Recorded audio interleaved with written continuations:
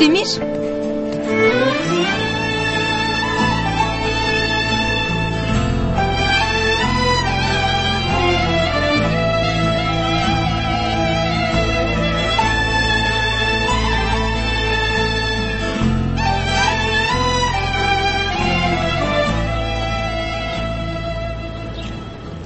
Evime kadar gelip de neyin hesabını soruyorsun? Ne işi? Neyin peşine düşmüşüm? Yasemin'i nereye götürdün? Neden onu saklıyorsun? Kim bu Yasemin? Sen ne diyorsun? Neden onunla konuşmamı engelliyorsun? Ne bu telaş Süheyla Hanım? Anlaşılan Yasemin meselesi İhsan'la sana dokunuyor. Sen evvela bunu açıkla. Sonra benden cevap iste. Kendine gel Cemal ağa. Sen kim oluyorsun da hayatımla ilgili sorular sorabiliyorsun ha? İhsan'ın kayınbabası olarak. Unuttun mu yoksa? Bu işin peşini bırakmam. Haberin olsun. O kadın neyin nesi öğreneceğim. Elinden geleni ardına koyma.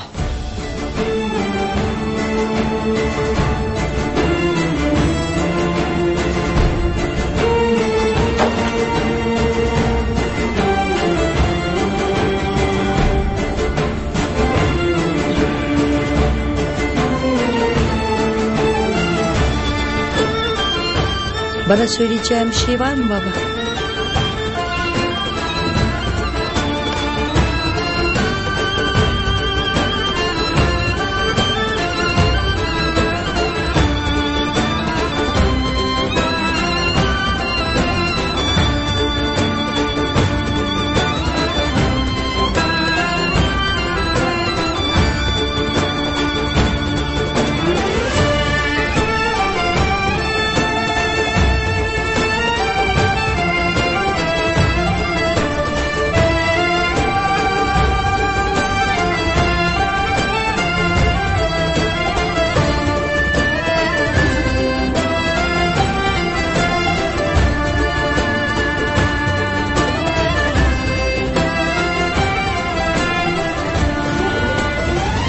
Bülent Bey yavaş yavaş çözülmeye başladı. En azından İhsan Bey suçsuz olduğunu itiraf etti. Bu davadan alnımızın akıyla çıkacak gibiyiz Demir Bey. Kızına siz mi haber verdiniz? Cezaevinde yanımdaydı. Babasını çıkarmak üzereyken işlemler durunca kötü oldu. Vicdanım el vermedi ben de buraya getirdim. Ayrıca artık mahsuru yok onu da bilgilendirebiliriz.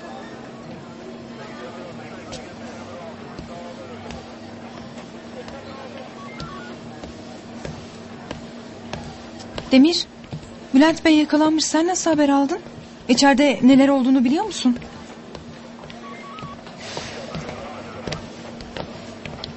Demir. Demir. İçeride neler oluyor bir şey söyle. Bülent Bey eğer her şeyi itiraf ederse... Neden konuşmuyorsun benimle? Çünkü konuşacak bir şey yok. Ne oldu? Yüzüme bile bakmıyorsun. Sana bekle demiştim. Bana güvenmedin. Dahası en berbat yolu seçtin. Hem de hemen. Benim tanıdığım Asi satın alınamaz. Mücadeleci, gururlu biriydi. Ama seni tanımamışım. Neyse boş ver. Daha fazla konuşmayayım. Söyleyeceklerimi anlayacağını hiç sanmıyorum.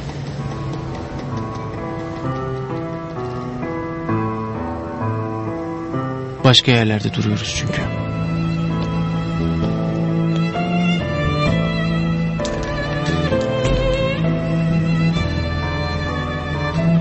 Bülent Bey ifade vermeye devam ediyor.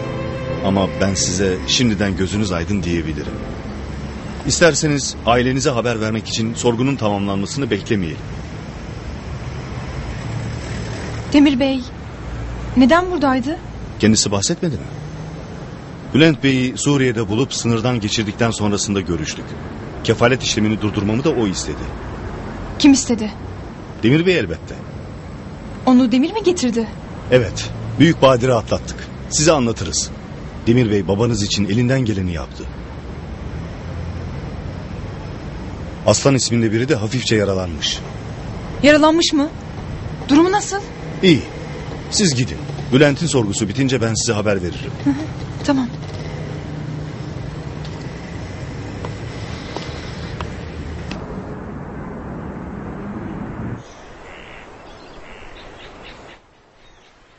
Sevinç şu kazağını bir aşağı çek bakalım. Dur. Ben Anne yapayım. dur dur. Sevinç yapsın. Tamam tamam. Şu cepten de bir telefonumu çıkar bakalım. Öf. Çıkarsana anne dur. Sevinç yapsın. Çek. Kimi aramamı isterseniz sahip? Mesaj yazacağız. Yaz bakalım. Sevgili Ee, Halep valisi. Yazsana. yazmıyorum.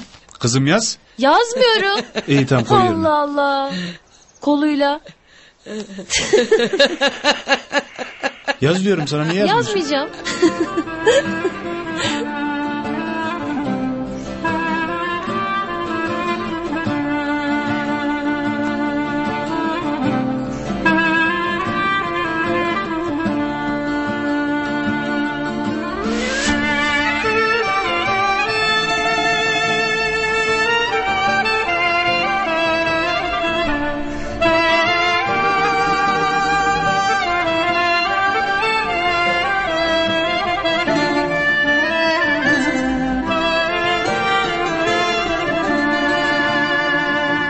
Demiştim.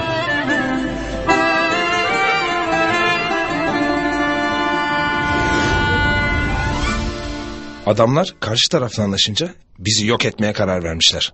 Aslan konuşmaları duymasa bizi çoktan öldürmüşlerdi. Ne? Ya Aslan adama silah çekince ona döndüler. Bu arada bizim polisler içeri girdi. Ortalık bir anda savaş alanına döndü. Şunları anlatmayı keser misin Kerim? Tahammül edemiyorum. Bu nasıl bir delilik? Hangi cesaretle bunları yaptığınızı anlamıyorum abi. Canınızı tehlikeye atmaya değer miydi? Bu kadarını ben de beklemiyordum ama atlattık tamam. Sakin olsun herkes. Hem size mi düştü İhsan Bey'i kurtarmak, Bülent'i getirmek? He, biraz bana düşer tabii. E, sonuçta o Defne'nin babası. Ayrıca suçsuz. Neyse bu da ortaya çıktı sonunda. Ben Hasan'ı ziyarete gideyim. İyi olur tabii ama yarın. Demir de gelir gelmez odasına kapandı. Ben gidip bir bakayım. Ben sana şu uçuşan mermileri anlatmaya devam edeyim mi? Demir iyi misin? İyiyim teşekkür ederim. Sizin için çok endişelendik. Bir şey olmadı döndük işte. Rahatsız etmiyorum ya. Yalnız mı kalmak istiyorsun? Pek keyfim yok. Senin de canını sıkmak istemem.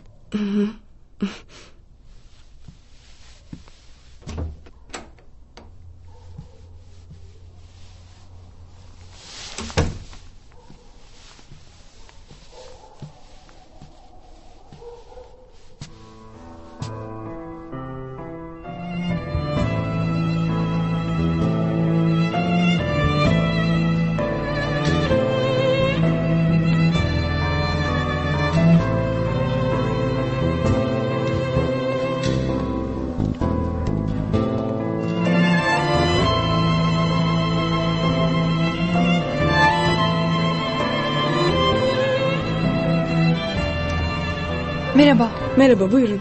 Demir'le görüşecektim. Girmez miydiniz? Ben burada beklerim. İyi o zaman ben Demir'e haber vereyim. Teşekkürler.